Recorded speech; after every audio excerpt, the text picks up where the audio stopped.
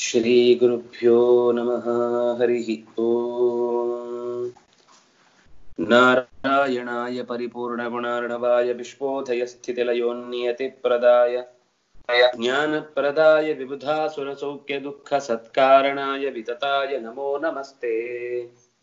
यो विप्रलम्ब विपरीतमतिप्रभूतवादान्निरस्य कृतवान् भुवि तत्त्ववादम् सर्वेश्वरो हरिरिति प्रतिपादयन्तम् आनन्दतीर्थमुनिवर्यमहं नमामि। नारायणं सुरगुरुं जगदेकनाथं भक्तप्रियं सकललोकनमस्कृतं च त्रैगुण्यवर्जितमजं विभुमाद्यमीशं वन्दे भवघ्नमरासुरसिद्धवन्द्यम् नारायणं नमस्कृत्य नरं चैव नरोत्तमं देवीं सरस्वतीं व्यासं। ततो जयमुदीरये स्वस्त्यस्तु सताम् हरिः ओम् रामः प्रगृह्य मुसलं, सहलं च यानम् आस्थाय सा- सायकशरान्। असि तूणयुक्तः शरासनतूणयुक्तः, सैन्यं जरासुतसुरक्षितमभ्यधावद् हर्षान्। हर्षान्नदन्नुर्बल बलोरिबलैरधृष्यः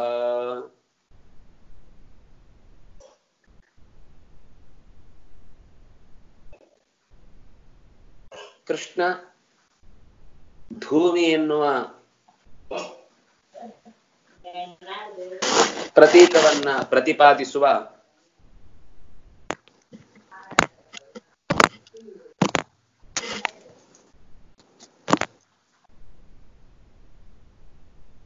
ರಥವನ್ನ ಹೊತ್ತೊಯ್ದು ದಾರುಕನ ಸಾರಥ್ಯದಲ್ಲಿ ಜರಾಸಂಧನ ಸೈನ್ಯದ ಮೇಲೆ ದಾಳಿ ಮಾಡಿದ. ಅವನ ಕೈಯಲ್ಲಿ ಎಲ್ಲ ರೀತಿಯಾದ ಆಯುಧಗಳು ಇದ್ದವು. ಅನ್ನೋದನ್ನ ಹೇಳಿ ಬಲರಾಮನ ಕೈಯ ಆಯುಧಗಳನ್ನ ಹೇಳ್ತಾ ಇದ್ದಾರೆ. ರಾಮನು ಕೂಡ ಪ್ರಗೃಹ್ಯ ಮುಸಲಂ ಹಲಂ. ಒಂದು ಕೈಯಲ್ಲಿ ವನಕೆ ಇನ್ನೊಂದು ಕೈಯಲ್ಲಿ ಹಲಾಯುಧ. ಅಂದ್ರೆ ನೊಗ ಅಂತಾರೆ ಅದನ್ನ, ಕೃಷಿ ಕೆಲಸಕ್ಕೆ ಬಳಸುವಂತದ್ದು ಅದನ್ನೇ ಆಯುಧವನ್ನಾಗಿಟ್ಕೊಂಡಿದ್ದ. ಹಲಂಚ ಮುಸಲಂ, ಯಾನಂ ಆಸ್ಥಾಯ, ರಥವನ್ನೇರಿ, ಸಾಯಕ ಶರಾಸನ ತೂಣಯುಕ್ತ. ಬಿಲ್ಲು ಬಾಣ ಬತ್ತಳಿಕೆಗಳಿಂದ ಕೂಡಿಕೊಂಡು ಸೈನ್ಯಂ ತನ್ನ ಸೇನೆಯನ್ನು ಜರಾಸುತ ಸುರಕ್ಷಿತಂ ಜರೆಯ ಮಗನಾದಂತಹ ಜರಾಸಂದನಿಂದ ಚೆನ್ನಾಗಿ ಕಾಪಿಡಲ್ಪಟ್ಟಂತಹ ಸೈನ್ಯದ ಮೇಲೆ ಅಭ್ಯಧಾವತ್ ಎರಗಿದನು. ಸಂತೋಷದಿಂದ, ಅಂದ್ರೆ ಯುದ್ಧೋತ್ಸಾಹದಿಂದ ಎರಗಿದನು. ಅಂದ್ರೆ ನದನ್ ಜೋರಾಗಿ ಆ ಹರ್ಷದ ಉದ್ಗಾರವನ್ನು ಮಾಡುತ್ತಾ, ಉರುಬಲಹ, ಅತ್ಯಂತ ಬಲಿಷ್ಠನಾದ ರಾಮ, ಬಲರಾಮನು ಅರಿಬಲೈಹಿ ಅದೃಶ್ಯ, ಶತ್ರುಗಳ ಬಲದಿಂದ ಬೆಂಡಾಗದ, ಬಾಗದ, ಗರ್ಜಿಸುತ್ತ ಜರಾಸಂದನ ಮೇಲೆ ಬಲರಾಮ ದಾಳಿ ಮಾಡಿದ. ಶತ್ರುಗಳ ಬಲಕ್ಕೆ ಕಂಗೆಟ್ರೆ, ಅಂದ್ರೆ ಒಂದು ಹೆಜ್ಜೆ, ಅಯ್ಯೋ, ಇಷ್ಟು ಜನ ಇದ್ದಾರಾ ಅಂತ ಒಂದು ಕ್ಷಣ ಅನ್ಸಿದ್ರೆ ಶತ್ರುಗಳು ನಿಂಗ್ ನುಂಗಿ ನೀರು ಕುಡಿದು ಬಿಡ್ತಾರೆ. ನೋಡಿದ ಮೇಲೆ ಎರಗುವುದೊಂದೇ ಕೆಲಸ. ಆ ಬಲವನ್ನ ನಿಗ್ರಹಿಸುವುದಕ್ಕೆ ಮೊದಲ ನೋಟದಲ್ಲಿ ಅವರ ಭಾವನೆ ಏನಿತ್ತು ಅನ್ನೋದ್ರ ಮೇಲೆ ನಾವು ಅವರನ್ನ ಗೆಲ್ತೇವೋ ಸೋಲ್ತೇವೋ ಅನ್ನೋದು ಸಾಮಾನ್ಯ ನಿರ್ಧಾರ ಆಗುತ್ತೆ. ಆರಂಭದಿಂದಲೇ ಕೆಚ್ಚನ್ನ ತುಂಬಿಕೊಂಡು ಕೃಷ್ಣ ಮತ್ತರ ಇಬ್ಬರೂ ಕೂಡ ಯುದ್ಧದ ಎಲ್ಲ ನೀತಿಗಳನ್ನ ತೋರಿಸ್ಬೇಕಲ್ವಾ? ಯುದ್ಧದ ಕೇವಲ ನಾವು ದೇವತೆಗಳು ಏನಾದ್ರೂ ಮಾಡಬಹುದು ಅಂತ ಮಾಡಿದ್ದಲ್ಲ ಅದು. ಲೋಕದಲ್ಲಿ ಎಲ್ಲವೂ ಕೂಡ ಒಂದೊಂದು ಕ್ಷಣದ ಅರಿವು ಕೂಡ ಮುಂದಿನವನಿಗೆ ಒಂದು ಪಾಠ ಅಂತ ಆಗಬೇಕು. ಹಾಗಾಗಿ ಕ್ಷತ್ರಿಯರಿಗೆ ಉಚಿತವಾದದ್ದೇನು ಅಂದ್ರೆ ಯುದ್ಧದಲ್ಲಿ ಕೆಚ್ಚು. ಅದನ್ನ ಹಚ್ಚಿಕೊಂಡು ಇಬ್ಬರು ರಣರಂಗಕ್ಕಿಳಿದ್ರು. ಉದ್ವೀಕ್ಷ ಕೃಷ್ಣಮಭಿಯಾಂತಮನಂತ ಶಕ್ತಿಂ ರಾಜೇಂದ್ರ ವೃಂದ ಸಹಿತೋ ಮಗದಾಧಿರಾಜ ಉದ್ವೇಲ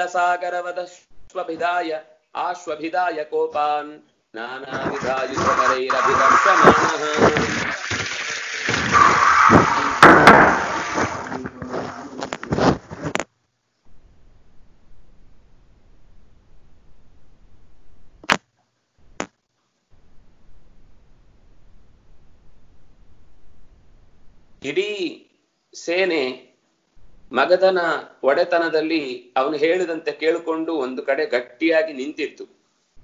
ಜರಾಸಂಧ ಅದನ್ನು ನೋಡ್ದ. ತನ್ನ ಸೇನೆ ಎಷ್ಟು ವ್ಯಾಪ್ತವಾಗಿ ಬೆಳೆದು ನಿಂತಿದೆ. ಆದ್ರೆ ಎದುರುಗಡೆ ಓಡಿ ಬರ್ತಾ ಇರುವಂತಹ ಸೈನ್ಯವನ್ನೂ ನೋಡ್ತಾ ಇದ್ದಾನೆ. ಕೃಷ್ಣನ ಸೈನ್ಯ.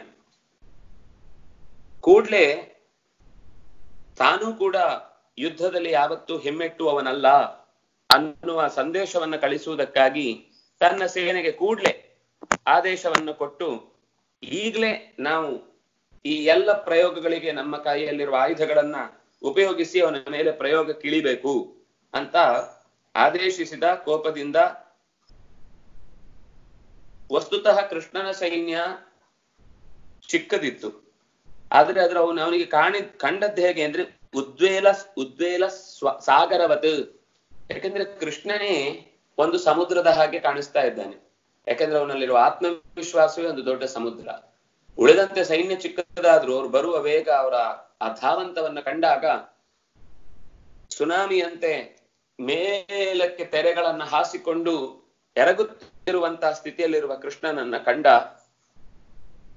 ತಾನು ಕೂಡ ಪ್ರತಿಯಾಗಿ ಬಾಣಗಳ ಮಳೆಯನ್ನ ಕರೆಯುತ್ತಾ ಕೃಷ್ಣನನ್ನ ಅಭಿವರ್ಷಮಾಣ ನಾನಾ ವಿಧ ಆಯುಧವರೈ ಅಭಿವರ್ಷಮಾಣ ಅಭಿ ಅಭಿಯಾಯ. ಬಗೆ ಬಗೆಯ ಆಯುಧಗಳನ್ನ ಕೈಯಲ್ಲಿರಿಸಿಕೊಂಡು ಅಭಿಮುಖಗೊಂಡ, ಎದುರಿಸಿದ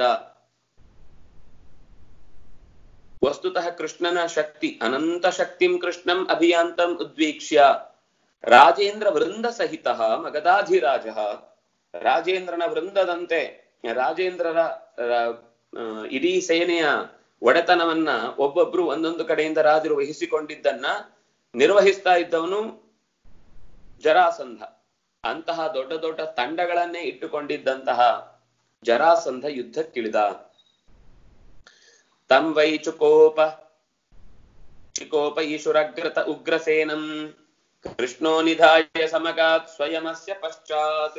ದೃಷ್ಟ್ವಾಗ್ರತೋ ಮಗಧರಾಟ್ ಸ್ಥಿತಮುಗ್ರಸೇನಂ ಕೋಪಾಚ್ಚಲತ್ತನುರಿದಂ ವಚನಂ ಭಾಷೆ ತಂ ವೈ ಚುಕೋಪೈಷುಃ ಉಗ್ರತಃ ಉಗ್ರಸೇನಂ.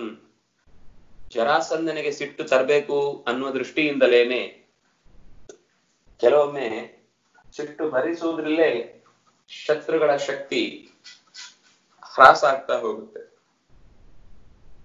ಇರಿಟೇಟ್ ಮಾಡುದು ಸಿಟ್ಟು ಭರಿಸುವುದು ಮಾತ್ರ ಆದ್ರೆ ಅದು ಅವರಿಗೆ ಪ್ಲಸ್ ಆಗುತ್ತೆ. ಸಿಟ್ಟು ಭರಿಸುವುದರ ಜೊತೆ ಜೊತೆಗೆ ಇರಿಟೇಟ್ ಆಗಬೇಕು. ಬೇಕು ಅಂತ ಉಗ್ರಸೇನನನ್ನ ಮುಂದಿಟ್ಟ. ಯಾಕಂದ್ರೆ ಅವನನ್ನ ಕೊಂದು, ಜರಾಸ, ಇವನು ಕಂಸನನ್ನ ಕೊಂದು, ಅವನ ತಂದೆಯನ್ನೇ ಉಗ್ರಸೇನನ ಉಗ್ರಸೇನನನ್ನ ಪಟ್ಟದಲ್ಲಿ ಕೂಡಿಸಿದ್ದ. ಅಂದ್ರೆ ಯಾದವರನ್ನೆಲ್ಲ ಹಿಡಿತಕ್ಕೆ ತಂದುಕೊಳ್ಳಿಕ್ಕೆ ಸಹಾಯ ಮಾಡಿದ್ದವ ಕಂಸ. ಆ ಯಾದವರ ಕೈತಪ್ಪಿ ಮತ್ತೆ ಯಾದವರ ಅಧಿಕಾರಕ್ಕೆ ಯಾದವರ ಅಧಿಕಾರವನ್ನ ಮರಳಿ ಪಡೆದವನು ಈ ಉಗ್ರಸೇನ. ಹಾಗಾಗಿ ಅವನನ್ನೇ ಮುಂದಿಟ್ಟುಕೊಂಡು ತಾನು ಉಗ್ರಸೇನನ ಹಿಂದೆ ನಿಂತ. ಜರಾಸಂದನಿಗೆ ಮುಂದೆ ಕಾಣ್ತಾ ಇರುವ, ಅಂದ್ರೆ ಧೈರ್ಯ ವಹಿಸಿ ಆ ವಯಸ್ಸಾದವನು ತನ್ನ ಮಗನು ಶತ್ರು ತೊಂದ್ರೆ ಇಲ್ಲ. ನಮ್ಮ ಸೊಸೆ ಅಂದ್ರು ವಿಧವೆಯರಾದ್ರೂ ತೊಂದ್ರೆ ಇಲ್ಲ. ಅಧಿಕಾರ ಬೇಕು ಅಂತ ಹುಚ್ಚಿಡಿದಿದ್ದಾನಲ್ವಾ? ಅಂತ ಅವನ ಬಗ್ಗೆ ಇನ್ನಷ್ಟು ಆಕ್ರೋಶ ಹುಟ್ಟಿತು. ಮೈಯೆಲ್ಲ ಕಂಪಿಸುವ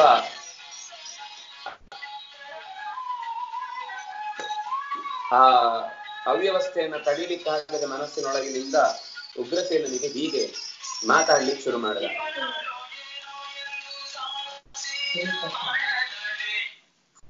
ತಂವೈ ಚಿಕೋಪೈಷು ಅಗ್ರತಃ ಉಗ್ರಸೇನಂ. ಚಿಕೋಪೈಷು ಕೋಪಗೊಳಿಸುವುದಕ್ಕಾಗಿಯೇ ಕೃಷ್ಣ ಉಗ್ರಸೇನಂ ಅಗ್ರೇ ನಿಧಾಯ, ಅಗ್ರತಃ ನಿಧಾಯ, ಸ್ವಯಂ ಪಶ್ಚಾತ್ ಸಮಗಾತ್. ತಾನು ಹಿಂದಿನಿಂದ ಹೋದ. ಅಗ್ರತಃ ಮಗದರಾಟ್ ಸ್ಥಿತಂ ಉಗ್ರಸೇನಂ ದೃಷ್ಟ ಎದುರುಗಡೆ ಸೈನ್ಯವನ್ನು ಹುರಿದುಂಬಿಸುತ್ತಾ, ಜೈಕಾರಗಳನ್ನ ಹಾಕುತ್ತಾ, ತನ್ನ ಮಗನ ಸಾವಿನ ಶೋಕದ ಕಿಂಚಿತ್ತೂ ಪರಿಚಯ ಇಲ್ಲದೆ ಉತ್ಸಾಹದಿಂದ ಬರ್ತಾ ಇರುವಂತಹ ಉಗ್ರಸೇನನ ಬಗ್ಗೆ ಕಂಡು ಕೋಪಾತ್. ಚಲತ್ತನು ನಡುಗಿದ ಶರೀರ ಉಳ್ಳವನಾಗಿ ವಚನಂಬ ಭಾಷೆ ಈ ಮಾತನ್ನು ಹೇಳಿದ. ಪಾಪಾಪಯಾಹಿ ಪುರತೋ ಮಮ ರಾಜ್ಯ ಕಾಮ ನಿರ್ಲಜ್ಜ ಪುತ್ರವಧ ಕಾರಣ ಶತ್ರು ಪಕ್ಷ ತ್ವಂ ಜೀರ್ಣ ಬಸ್ತ ಸದೃಶೋ ನಮಯೇಹ ಬಧ್ಯ ಸಿಂಹೋ ಹಿ ಸಿಂಹಮಭಿಯಾತಿ ಸವೈ ನವೈ ಶೃಗಾಲಂ. ಪಾಪಿಷ್ಠ, ದುಷ್ಟ. ಸಾಮಾನ್ಯ ದುಷ್ಟರಿಗೆ ಇನ್ನೊಬ್ರು ದುಷ್ಟರ ತರನೇ ಕಾಣಿಸ್ತಿರ್ತಾರೆ. ಒಳ್ಳೆಯವ್ರು ಕಾಣಿಸುದೇ ಇಲ್ಲ. ಎಲೈ ಪಾಪಿಷ್ಠನೆ ಅಪ್ಪಯಾಹಿ ಹೊರಡು ಹೋಗಿ ಇಲ್ಲಿಂದ ರಾಜ್ಯ ಕಾಮ. ಪುತ್ರವಧ ಕಾರಣ, ಶತ್ರು ಪಕ್ಷ, ನಿರ್ಲಜ್ಜ, ಎಲ್ಲ ಸಂಬೋಧನೆಗಳೇ. ರಾಜ್ಯವನ್ನ ಕಾಮಿಸಿದವನು ಈ ವಯಸ್ಸಾದ್ರೂ ಇನ್ನೂ ರಾಜ್ಯ ಬೇಕು ಭೋಗಬೇಕು ಅಂತ ಕೂತಿದ್ಯಲ್ವಾ? ನಿರ್ಲಜ್ಜ, ನಾಚಿಕೆ ಕೆಟ್ಟವನೇ.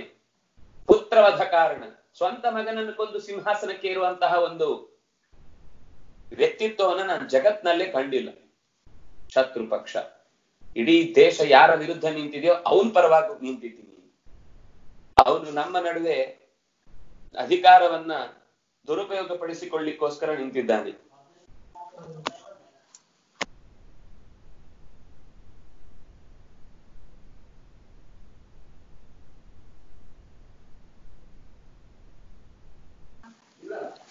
ಪಂಡೆ.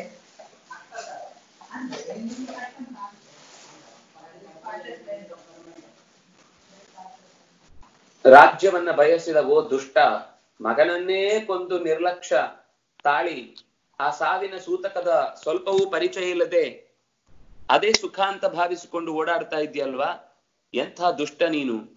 ಅಂತ ಬೈತಾ ಹೇಳ್ತಾನೆ ಶತ್ರು ಪಕ್ಷ. ಶತ್ರುಗಳ ಪಕ್ಷದಲ್ಲಿ ನಿಂತುಕೊಂಡು ಬಿಟ್ಟಿದ್ದಿ. ನೀನು ಅಕಸ್ಮಾತು ಕಂಸ ಬಿಟ್ಟುಕೊಟ್ಟ ನಂತರ ನನ್ನ ಬಳಿಗೆ ಬಂದಿದ್ದಿದ್ರೆ ನಿನಗೆ ಬೇಕಾದ್ದನ್ನೆಲ್ಲ ನಾನು ಒದಗಿಸ್ತಾ ಇದ್ದೆ. ನಿನ್ನತ್ರ ಮಾತಾಡಿ ಉಪಯೋಗ ಇಲ್ಲ.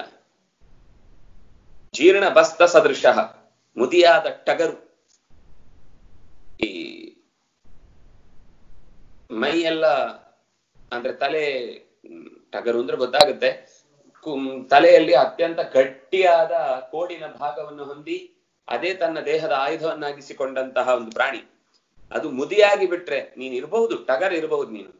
ಆದ್ರೆ ಅದು ಮುದಿ ಆದ್ರೆ ಯುದ್ಧದಲ್ಲಿ ಸೋಲುತ್ತೆ. ಆಮೇಲೆ ಅದಕ್ಕೆ ದೇಹದಲ್ಲಿ ಶಕ್ತಿ ಇರಲ್ಲ. ತಲೆಯಲ್ಲಿ ಎಷ್ಟೇ ಗಟ್ಟಿ ಇರುವುದು ತಲೆ ಅದು ಬೆಲ್ ಬಲಿದಷ್ಟು ಗಟ್ಟಿ ಆಗ್ತಾ ಇರುತ್ತೆ. ಆದ್ರೆ ಶಕ್ತಿ ಇಲ್ಲ.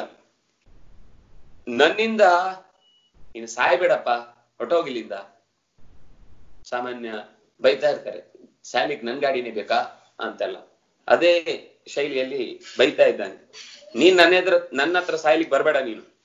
ಸಿಂಹ ಯಾವತ್ತು ಸಿಂಹ ಜೊತೆಗೆ ಯುದ್ಧ ಮಾಡುತ್ತೆ ಹೊರತು ಮುದಿ ಟಗರಿನ ಜೊತೆಗಲ್ಲ ಶೃಗಾಲಹ, ನರಿ ಜೊತೆಗಲ್ಲ. ನರಿ ನೀನು. ಯಾಕೆಂದ್ರೆ ಸ್ವಂತ ಮರಿಯನ್ನೇ ಕೊಂದವನು, ನಿನ್ನ ಮಗನನ್ನೇ ಕೊಂದವನು ನೀನು. ಹಾಗಾಗಿ ಮಗನನ್ನ ಕೊಂದು ಶತ್ರುಗಳ ಪಕ್ಷದಲ್ಲಿ ನಿರ್ಲಜ್ಜೆಯಿಂದ ರಾಜ್ಯವನ್ನ ಬಯಸಿ ಪಾಪಿಷ್ಠನಾದ ನಿನ್ನ ಜೊತೆಗೆ ಹೋರಾಡುವುದಕ್ಕಿಂತ ನನ್ಗೆ ನಾನು ಅವಮಾನ ಮಾಡಿಕೊಳ್ಳುವ ಕೆಲಸ ಜಗತ್ತಲ್ಲಿ ಬೇರೆ ಇಲ್ಲ. ಹಾಗಾಗಿ ಹೋಗು ನೀನು. ಅಪಯಾಗಿ ಹೊರಟು ಹೋಗಿಲ್ಲಿಂದ ನನ್ನ ಎದುರುಗಡೆ ಕಾಣಿಸ್ಕೋಬೇಡ. ಆಚೆ ಸರಿ. ನನಗೆ ಯುದ್ಧ ಮಾಡುವಾಗ ಇರಿಟೇಟ್ ಆಗ್ತಾ ಇದೆ ನಿನ್ ಜೊತೆಗೆ. ಇದೇ ಬೇಕಿತ್ತು ಕೃಷ್ಣನಿಗೆ ಅವನು ಆ ಕೆಲಸದ ಬಗ್ಗೆ ಅವನಿಗೆ ಒಂಥರ ಹಿಂಸೆ ಆಗ್ಬೇಕು. ತಾನು ಮಾಡ್ತಾ ಇರುವ ಕೆಲಸದಲ್ಲಿ ಖುಷಿಯಾಗಿ ಅದನ್ನ ನಿಗ್ರಹಿಸ್ಲಿಕ್ಕೆ, ಆಗ್ಲಿಕ್ಕೆ ಮನಸ್ಸು ಕಂಟ್ರೋಲಿಗೆ ಬರಬಾರ್ದು.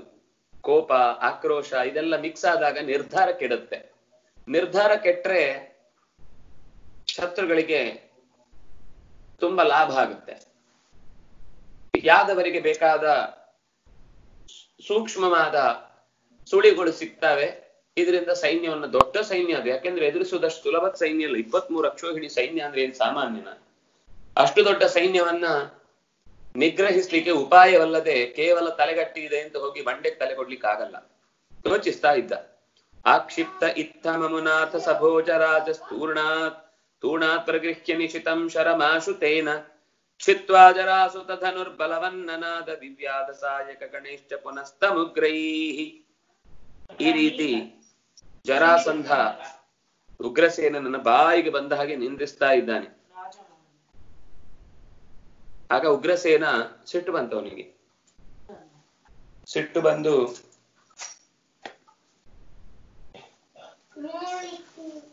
ಕೂಡ್ಲೆ ಅವನಿಗೆ ವಾಪಸ್ ಉತ್ತರ ಕೊಡ್ಬೇಕು, ಆದ್ರೆ ಮಾತಿನಿಂದ ಉತ್ತರ ಕೊಟ್ರೆ ಉಪಯೋಗ ಆಗಲ್ಲ. ಎಷ್ಟೋ ಸರ್ತಿ ಇರಿಟೇಟ್ ಮಾಡೋರಿಗೆ, ಅಂದ್ರೆ ಶತ್ರು ಪಕ್ಷ ಈ ರೀತಿ ಎಲ್ಲ ಮಾತಾಡಿದಾಗ ಮನಸ್ಸಿಗೆ ಅಹಿತ ಆಗುತ್ತೆ. ಆದ್ರೆ ಆಗ ಮನಸ್ಸಿಗೆ ಅಹಿತ ಮಾಡ್ಕೊಳ್ತಾ ಕೂತ್ರೆ ಕೆಲಸ ಆಗಲ್ಲ. ಮನಸ್ಸು ಕೆಡಬಾರದು, ಅಬ್ಸರ್ವ್. ಏನ್ ಮಾಡ್ಬೇಕಿದೆ ಅನ್ನೋದನ್ನ ಗಮನಿಸ್ಬೇಕು ಹೊರತು. ಅವನಿಗೆ ಏನ್ ಉತ್ತರ ಕೊಡ್ಬೇಕು ಅನ್ನೋದನ್ನ ಗಮನಿಸ್ತಾ ಇದ್ರೆ ಯುದ್ಧ ಕೆಡುತ್ತೆ. ಇದು ಯುದ್ಧ ಭೂಮಿ. ಅಥವಾ ಯಾವ್ದೋ ಒಂದು ಕೆಲಸ ಆಗ್ತಾ ಇರ್ಬೇಕಾದ್ರೆ ಆ ಕೆಲಸದ ಬಗ್ಗೆ ಯೋಚನೆ ಮಾಡ್ಬೇಕು ಹೊರತು ಅವನಿಗೆ ಏನ್ ಉತ್ತರ ಕೊಡ್ಲಿ ಅಂತ ಯೋಚಿಸ್ತಾ ಕೂತ್ರೆ ಅವ್ರು ಅಷ್ಟರಲ್ಲಿ ಬೇರೆ ಪಾಶವನ್ನ ಹೆಣೀತಾ ಇರ್ತಾರೆ. ಅದಕ್ಕೋಸ್ಕರ ಕೂಡ್ಲೆ ತನ್ನ ಬತ್ತಳಿಕೆಯಿಂದ ಒಂದು ಚೂಪಾದ ಬಾಣ ತೆಗೆದು ವೇಗವಾಗಿ ಜರಾಸಂದನ ಕೈಯಲ್ಲಿದ್ದ ಬಿಲ್ಲನ್ನ ಕತ್ತರಿಸಿ ಬಿಟ್ಟು ಜೋರಾಗಿ ಘರ್ಜಿಸಿದ. ನೋಡು, ನಿನ್ ಪ್ರಶ್ನೆಗೆ ನನ್ನ ಉತ್ತರ ಇದೆ. ಅಲ್ಲಿಗೆ ಗರ್ಜಿಸಿ ಓ ಅಂತ ಒಂದು ಬಾಣ, ಒಂದು ಬಿಲ್ಲನ್ನ ಮುರಿದ ತಕ್ಷಣ ಹೆಮ್ಮೆ ಪಡ್ತಾ ನಿಂತಿಲ್ಲ ಆ ಗರ್ಜನೆ ಅನ್ನೋದು ಮುಂದಿನ ಅಟ್ಯಾಕಿಗೆ ಪೂರ್ವ ಸಿದ್ಧತೆ ಆಗಿತ್ತಾದ್ರಿಂದಾಗಿ ಮತ್ತೆ ಮತ್ತೆ ಮತ್ತೆ ಸಹಾಯಕ ಗಣೇಶ ಪುನಃ ಸಮುಗ್ರೈಹಿ ವಿವ್ಯಾಧ. ಮತ್ತೆ ಮತ್ತೆ ಉಗ್ರವಾದ ಬಾಣಗಳಿಂದ ಅವನನ್ನ ಉಗ್ರಸೇನ ನಾನು ಹೌದು ಅನ್ನೋದನ್ನ ತೋರಿಸುವಂತೆ ಹೊಡೆದು ಬಿಟ್ಟ ಇದು ಜರಾಸಂಧ ಅನಿರೀಕ್ಷಿತವಾಗಿ ತಿಂದ ಏಟು. ಉಗ್ರಸೇನ ಮುದಿಯ ಮುದಿಯ ಅಂತ ಇಷ್ಟು ಬಸ್ತಟ್ ಆ ಹಿಂದೆ ಹೇಳಿದ್ದು ಜೀರ್ಣ ಬಸ್ತ ಸದೃಶಃ. ಜೀರ್ಣವಾದ ಭಸ್ತ ನೀನು ಅಂತ. ಆದ್ರೆ ಅವನು ಅದಕ್ಕೆ ಉತ್ತರವಾಗಿ ಯಾವಾಗ್ಲೂ ಸಾಮಾನ್ಯ, ಒಳ್ಳೆಯ ಯೋಧ ಆದ್ರೆ ಶತ್ರುಗಳಿಗೆ ಯಾವತ್ತೂ ಕೂಡ ಕ್ರಿಯೆಯಿಂದ, ಕರ್ತವ್ಯದಿಂದ ಉತ್ತರ ಕೊಡುವಂತದ್ದನ್ನ ಮೆಚ್ಚುತ್ತಾರೆ. ನೀವು ಕ್ರಿಕೆಟ್ ಆಟದಲ್ಲಿ ಸಾಮಾನ್ಯ ಎದುರುಗಡೆಯವರನ್ನ ಬೇಕು ಅಂತ ರೇಗಿಸಿ ಅವ್ರು ಜೋರಾಗಿ ಹೊಡೆಯುವಾಗ ಮಾಡ್ತಾರೆ ಕ್ಯಾಚ್ ಹಿಡಿದ ಔಟ್ ಆಗ್ತಾರೆ. ಅದು ಗಮನದಲ್ಲಿ ಇಲ್ಲದೆ ಇದ್ರೆ ಹಾಗಾಗುತ್ತೆ. ಅದು ಗಮನಕ್ಕೆ ಬಂದ್ರೆ ಅದೇ ಆಕ್ರೋಶವನ್ನ ಸರಿ ಮನಸ್ಸಿನಲ್ಲಿ ಇಟ್ಟು, ಆ ಆಕ್ರೋಶವನ್ನ ಸೂಕ್ತವಾದ ಸಮಯದಲ್ಲಿ ಬಳಸಿಕೊಂಡ್ರೆ ಎಲ್ಲದಕ್ಕೂ ಹೊಡಿತೇನೆ ಅಂತ ಅಂದುಕೊಂಡು ಹೊಡೆದ್ರೆ ಅದು ಔಟ್ ಆಗುತ್ತೆ. ಹೊಡೆಯಬೇಕಾದಂತಹ ಚೆಂಡು ಬಂದಾಗ್ಲೇ ಅದನ್ನ ಬಾರಿಸಿದ್ರೆ ಅದು ಗೆರೆಯನ್ನ ದಾಟುತ್ತೆ. ಇದು ನೀವು ಗಮನಿಸಿರ್ತೀರಿ, ನಾನು ಇದ್ರ ಬಗ್ಗೆ ಹೆಚ್ಚು ಹೇಳ್ಬೇಕಾಗಿಲ್ಲ. ಇದು ಕೇವಲ ಒಂದು ಕ್ರಿಕೆಟ್ ಅಂತಲ್ಲ, ಯಾವುದೇ ಆಟ ಇರ್ಬೋದು ಅಥವಾ ಜೀವನದ ಯಾವುದೇ ಪಾಠ ಇರ್ಬೋದು. ಎಲ್ಲ ಸಂದರ್ಭದಲ್ಲೂ ಅವನು ಏನು ಎದುರಾಳಿ ನಮ್ಮನ್ನ, ನಮ್ಮಿಂದ ನಿರೀಕ್ಷಿಸ್ತಾ ಇದ್ದಾನೆ ಅನ್ನೋದನ್ನ ನಾವು ತಿಳ್ಕೊಂಡ್ ಬಿಟ್ರೆ ನಾವು ಅದನ್ನ ಕೊಡದೇ ಇದ್ರೆ ಸಾಕು. ಯಾವಾಗ್ಲೂ ಪೇಜಾವರ ಶ್ರೀಗಳ ಹತ್ರ ಪತ್ರಕರ್ತರು ಬಂದು ಬಂದು ಬಂದು ಬಂದು ಸುಮ್ಮನೆ ಒಂದು ವಾದ ಹುಟ್ಟಿಸ್ಲಿಕ್ಕೆ, ವಿವಾದ ಹುಟ್ಟು ಹಾಕ್ಲಿಕ್ಕೆ ಬೇಕಾದ ಪ್ರಶ್ನೆಗಳನ್ನು ಕೇಳುತ್ತಿದ್ರು ನೀವು ನಮ್ಮ ಪ್ರಧಾನಿಗಳಿಗೆ ಏನ್ ಹೇಳಬೇಕು ಅಂತ ಬಯಸ್ತೀರಿ? ನಾನು ಪ್ರಧಾನಿಗಳಿಗೆ ಹೇಳ್ತೇನೆ. ಅಲ್ಲ, ಪ್ರಧಾನಿಗಳು ಸಿಕ್ಕಿದಾಗ ನೀವು ಏನ್ ಹೇಳ್ತೀರಿ ಅಂತ ನಮ್ಗೆ ಗೊತ್ತಾಗುತ್ತಲ್ಲ ಅಲ್ಲ, ನೀವು ಪ್ರಧಾನಿಗಳ? ಅದನ್ನ ಇವ್ರು ಹತ್ತು ಸಲ ಕೇಳಿದಾಗ್ಲೂ ಗುರುಗಳು ಅದೇ ರೀತಿ ತಿರುಗಿಸಿ ತಿರುಗಿಸಿ ಅವರಿಗೆ ವಾಪಸ್ ಪ್ರಶ್ನೆ ಕೇಳ್ತಿದ್ರು. ಬೇರೆಯವರಾದ್ರೂ ಒಂದು ಎರಡು ಸರ್ತಿ ಪ್ರಶ್ನೆ ಕೇಳಿದ್ರು ಏನಾದ್ರೂ ಹೇಳ್ತೇನೆ. ನೋಡಿ, ಅವರು ಪ್ರಧಾನಿಗಳಿಗೆ ಹೇಳ್ತಾರಂತೆ, ಏನಾದ್ರೂ ಹೇಳ್ತೇನೆ ಅಂತ. ಅಂತ ಅಷ್ಟನ್ನೇ ಹಿಡ್ಕೊಂಡು ಕಿರ್, ಕಿರ್ಚಾಡ್ತಾ ಇರ್ತಾರೆ. ಬಹಳ ಜಾಗೃತೆಯಿಂದ ಕೇವಲ ಯುದ್ಧ ಅಂತಲ್ಲ, ಜೀವನದ ಪ್ರತಿಯೊಂದು ವ್ಯಕ್ತಿಗಳ ಹತ್ರ ನಾವು ಮಾತಾಡುವಾಗ್ಲೂ ಗಮನದಲ್ಲಿರ್ಬೇಕು. ನಮ್ಮಿಂದ ಏನನ್ನ ಅಪೇಕ್ಷಿಸ್ತಾ ಇದ್ದಾರೆ ಅವರು ಅನ್ನೋದನ್ನ ಗಮನಿಸಿ, ಅದು ನಮ್ಗೆ ಯೋಗ್ಯವಾದದ್ದಾದ್ರೆ ಕೊಡ್ಬೇಕು. ನಮ್ಗೆ ಯೋಗ್ಯವಾದದ್ದಲ್ಲ ಆದ್ರೆ ಅದನ್ನ ತಡೆ ಹಿಡಿಬೇಕು ಹೊರತು ಅದಕ್ಕೆ ಪ್ರತಿಯಾಗಿ ಆಕ್ರೋಶ ವ್ಯಕ್ತಪಡಿಸಿದ್ರೆ ಎದುರಾಳಿ ಅದರದ್ದೇ ದುರುಪಯೋಗ ಪಡ್ಕೊಳ್ಳಿಕ್ ಶುರು ಮಾಡ್ತಾನೆ. ಇತ್ತಂ ಆಕ್ಷಿಪ್ತ ಭೋಜರಾಜ. ಇತ್ತಂ ಈ ರೀತಿಯಾಗಿ ಅಮುನ ಜರಾಸಂಧನಿಂದ ಭೋಜರಾಜ ಆಕ್ಷಿಪ್ತ ಭೋಜರಾಜನೆನಿಸಿದ ಉಗ್ರಸೇನನು ಆಕ್ಷೇಪಕ್ಕೊಳಗಾದಾಗ ತೂಣಾತ್ ಬತ್ತಳಿಕೆಯಿಂದ ನಿಶಿತಂ ಶರಂ ಪ್ರಗೃಹ್ಯ. ಹರಿತವಾದ ಬಾಣವನ್ನ ಹಿಡಿದು ಆಶು ಕೂಡಲೇ ತೇನ ಆ ಬಾಣದಿಂದ ಜರಾಸುತ ಧನು ಜರಾಸುತನ ಧನುಸ್ಸನ್ನ ಚಿತ್ವ ಛೇದಿಸಿ ಬಲವನ್ನನಾದ, ಜೋರಾಗಿ ಕೂಗಿಕೊಂಡ, ಘರ್ಜಿಸಿದ. ಘರ್ಜಿಸಿದ್ದು ಕೇವಲ ಒಂದು ಬಾ, ಬಿಲ್ಲನ್ನ ತುಂಡರಿಸಿದೆ ಅನ್ನುವ ಕಾರಣಕ್ಕಲ್ಲ. ಮತ್ತೆ ಸಾಯಕ ಗಣೇಶ ಉಗ್ರೈಹಿ ಪುನಃ ತಂ ವಿವ್ಯಾಧ ಮತ್ತೆ ಹತ್ತಾರು ಉಗ್ರವಾದ ಬಾಣಗಳಿಂದ ಜರಾಸಂದನ ಮೈ ಮೇಲೆಲ್ಲ ಗಾಯಗೊಳ್ಳುವಂತೆ ದಾಳಿ ದಾಳಿಗೈದ. ಇದು ಜರಾಸಂದನ ಯುದ್ಧದ ಮೊದಲ ಪೆಟ್ಟು, ಯುದ್ಧಕ್ಕೆ ಸಿಕ್ಕಿದ ಮೊದಲ ಪೆಟ್ಟು. ಅನ್ಯಚ್ಚರಾಸನವರಂ ಪ್ರತಿ, ಪ್ರತಿಗೃಹ್ಯ ಕೋಪ ಸಂರಕ್ತ ನೇತ್ರಮಭಿಯಾಂತ ಮುದಿ, ಉದ್ವೀಕ್ಷ ಕೃಷ್ಣ, ಭೋಜಾದಿರಾಜವಧ ಕಾಂಕ್ಷಣ, ಕಾಂಕ್ಷಣಂ ಕಾಂಕ್ಷಿಣಂ ಉಗ್ರವೇಗಂ ಬಾರ್ಹದ್ರತಂ ಪ್ರತಿಯಯೌ ಪರಮ ಪರಮೋರಥೇನ ಜರಾಸಂಧನಿಗೆ ಅನಿರೀಕ್ಷಿತವಾಗಿ ಬಿದ್ದ ಪೆಟ್ಟಿಗೆ ಅವನು ತತ್ತರಿಸಿ ಹೋಗುವವನು ಕೂಡ್ಲೆ ಎಚ್ಚೆತ್ತುಕೊಂಡು ಮತ್ತೊಂದು ಬಿಲ್ಲನ್ನ ಎತ್ತಿ ಹಿಡಿದು ಕೆಂಗಣ್ಣಿನಿಂದ ಭೋಜರ ಒಡೆಯನೆನಿಸಿದ ಉಗ್ರಸೇನನನ್ನ, ವಧಂ ಕಾಂಕ್ಷಿಣಂ, ಅವನನ್ನು ಕೊಲ್ಲಬೇಕು ಅಂತನ್ನುವ ಬಯಕೆ ಉಳ್ಳವನಾಗಿ ತ್ವರೆಯಿಂದ ತನ್ನ ದೇಹದ ಚಲನೆಯನ್ನ ಚುರುಕುಗೊಳಿಸಿ ಏನೇನು ಬೇಕೋ ಅದನ್ನೆಲ್ಲವನ್ನು ಸಿದ್ಧಗೊಳಿಸಿಕೊಂಡು ತಯಾರಾದಾಗಲೇ ಕೃಷ್ಣ ಪ್ರತಿಯೆಯು ಪರಮೋರಥೇನ. ಉಗ್ರ ವೇಗದಿಂದ ಸಿದ್ಧಗೊಂಡಂತಹ ಬಾರಹದ್ರತನನ್ನು ಕೃಷ್ಣ ತನ್ನ ರಥದಿಂದ ಎದುರುಗೊಂಡ. ಆಯಾಂತ ವೀಕ್ಷ ಭಗವಂತಮನಂತ ವೀರ್ಯಂ. ಉಗ್ರಸೇನನನ್ನ ಹಿಂದಕ್ಕೆ ಕಳುಹಿಸಿದ. ಅಂದ್ರೆ ಹಿಂದೆ ಸರಿಸಿದ ಅಷ್ಟೇ. ತಾನು ಮುಂದೆ ಬಂದು ನಿಂತ ಚೇದೀಶ ಪೌಂಡ್ರ ಮುಖರಾಜ ಗಣೈ ಸಮೇತ, ನಾನಾ ವಿಧಾಸ್ತ್ರವರ ಶಸ್ತ್ರ ಗಣೈರ್ವ ವರ್ಷ ಮೇರುಂ ಯಥಾಘನ ಉದೀರ್ಣ ರಭೋಜಲೋಗೈ ಭಗವಂತಂ ಅನಂತ ವೀರ್ಯಂ ವೀಕ್ಷ್ಯ. ವೇಗವಾಗಿ ಬರುತ್ತಿರುವ ಆಯಾಂತಂ ಅನಂತ ವೀರ್ಯಂ ಭಗವಂತಂ ವೀಕ್ಷ್ಯ. ಛೇದೀಶ ಪೌಂಡ್ರಮುಖ ರಾಜ ಗಣೈ ಸಮೇತ, ಶಿಶುಪಾಲ ಪೌಂಡ್ರ ದೇಶದ ರಾಜ ಮೊದಲಾದ ಮುಖ್ಯ ಪ್ರಧಾನ ಬಲಿಷ್ಠ ರಾಜ ಮನೆತನದ ಹಿರಿಯರೊಂದಿಗೆ ಸೇರಿಕೊಂಡಂತಹ ಜರಾಸಂಧ ನಾನಾ ವಿಧಾಸ್ತ್ರವರ ಶಸ್ತ್ರ ಗಣೀರುವ ವರ್ಷ. ಎಲ್ಲರೂ ಸೇರಿ ತಮ್ಮಲ್ಲಿರುವ ಬಗೆ ಬಗೆಯ ಆಯುಧಗಳ ಎಲ್ಲ ಪ್ರಯೋಗಗಳನ್ನ ಒಟ್ಟಿಗೆ ಕೃಷ್ಣನ ಮೇಲೆ ಮಾಡಿದ್ರು. ವವರ್ಷ ಮಳೆಗರೆದವು ಹೇಗೆ ಅಂದ್ರೆ ದೊಡ್ಡದಾದ ಮೇರು ಪರ್ವತಕ್ಕೆ ಈ ತುಂಡು ಮೋಡಗಳೆಲ್ಲ ಸೇರಿಕೊಂಡು ತಮ್ಮಲ್ಲಿರುವ ನೀರಿನ ಹನಿಯಿಂದ ಮೇರುವನ್ನ ಕೊಚ್ಚಿ ಎಲ್ಲೋ ಎಸೀತೇವೆ. ಕೊಚ್ಕೊಂಡು ಹೋಗುವಾಗ ಮಾಡ್ತೇವೆ ತಮ್ಮ ಪ್ರವಾಹದಿಂದ ಅಂತ ಭಾವಿಸಿ ನೀರನ್ನ ಕೆರೆದರೆ ಹೇಗೋ ಉದೀರ್ಣ ರವಹ. ಜೋರಾದ ಸಿಡಿಲು, ಮಳೆ, ಇದನ್ನ ನೋಡಿದ್ರೆ ಏನೋ ಆಯ್ತು, ಪ್ರಳಯ ಆಗಿ ಹೋಯ್ತು ಅಂತ ಅಂದುಕೊಳ್ಳುವ ಹಾಗಿನ ದೊಡ್ಡ ಘರ್ಜನೆಯಾದ್ರೆ ಹೇಗೆ ಕಾಣಿಸುತ್ತೋ ಮೇರು ಪರ್ವತಕ್ಕದೇನಾದ್ರೂ ತಾಗತ್ತಾ ಅತ್ಯಂತ ತಾಕತ್ತುಲ್ಲ ಶಿಶುಪಾಲ ಪೌಂಡ್ರಕ ವಾಸುದೇವ ಮೊದಲಾದವರೆಲ್ಲ ಸೇರಿಕೊಂಡಾಗಲಂತೂ ಜರಾಸಂದನಿಗೆ ಉತ್ಸಾಹ ಉಕ್ಕಿ ಹರಿತಾ ಇತ್ತು. ಎಲ್ಲರ ಉದ್ದೇಶ ಇದ್ದದ್ದು ಪರಮಾತ್ಮನನ್ನ ಪೀಡಿಸಬೇಕು ಅಂತ. ಹಾಗಾಗಿ ತಮ್ಮ ಎಲ್ಲರ ಆಯುಧಗಳನ್ನ ಒಂದೇ ಬಾರಿಗೆ ಹಗೆಯ ಮೇಲೆ ಕೋಪದಿಂದ ಸುರಿಸಿದ್ರೆ ಅದು ನೀರೇ ಸುರಿಸಿದ ಹಾಗಿತ್ತು ದೊಡ್ಡದಾದ ಬಂಡೆಗಲ್ಲಿನ ಮೇಲೆ. ಮೇರು ಪರ್ವತ ಇನ್ನೇನು? ಅದರ ಎದುರುಗಡೆ ಸುರಿಸಿದ ನೀರು ಸುಮ್ಮನೆ ಏನು ಮಾಡಲ್ಲ. ನಾವು ನೀರು ಸರಿಸಿದ್ವಿ ಅಂತ ಒಂದು ಸಮಾಧಾನ ಆಗೋದಷ್ಟೇ ಮೋಡಗಳಿಗೆ ಬಿಟ್ರೆ, ನಾವು ಹಗುರಾದ್ವಿ ಅಂತ ಅನ್ಕೊಳ್ಬೇಕಷ್ಟೇ ಬಿಟ್ರೆ ಹಗುರಾಗುದು ಮೋಡಕ್ಕೆ ಖುಷಿ. ಆದ್ರೆ ಇವ್ರು ಹಗುರಾದ್ರೆ ಮರ್ಯಾದೆ ಹೋಗ್ಬಿಡುತ್ತೆ. ಇವ್ರು ಹಗುವಾಗ ಹಗುರ ಆಗುವ ಪ್ರಸಂಗವೇ ಬಂತು. ಶಸ್ತ್ರಾಸ್ತ್ರ ವೃಷ್ಟಿಭಿರಭಿತೋ ಭಗವಾನ್ ವಿವೃ- ವಿವೃಷ್ಟ್ಯ ಶಾಂಗೋತ್ಥ ಸಾಯಕ ಗಣೈರ್ ವಿರಥಾಶ್ವಸೂತಂ. ಚಕ್ರೇ ನಿರಾಯುಧಮಸೌ ಮಗದೇಂದ್ರಮಾಶು ಮಗದೇಂದ್ರಮಾಶು ಚಿನ್ನಾತ ಪತ್ರವರ ಶಕ್ತಿ ಪರಮಾತ್ಮ ತನ್ನ ಸುತ್ತಲೂ ಎಸೆದ ಗದೆ, ಬಾಣ ಮೊದಲಾದ ಎಲ್ಲ ಆಯುಧಗಳನ್ನು ತನ್ನ ಪ್ರತ್ಯುತ್ತರವಾದ ಶಾರ್ಂಗ ಧನುಸ್ಸಿನಿಂದ ಕೊಟ್ಟ ಬಾಣಗಳಿಂದ ಕತ್ತರಿಸಿ ತೆಗೆದ. ಜೊತೆಗೆ ಅಷ್ಟೇ ಅಲ್ಲ, ಒಟ್ಟಿಗೆ ಅದರ, ಅದು ಕತ್ತರಿಸಿದ್ದು ಅಲ್ಲೇ ಕತ್ತರಿಸಿ ಎಲ್ಲೋ ಒಂದು ಕಡೆ ಒತ್ತಟ್ಟಿಗೆ ಬೀಳುವುದಲ್ಲ.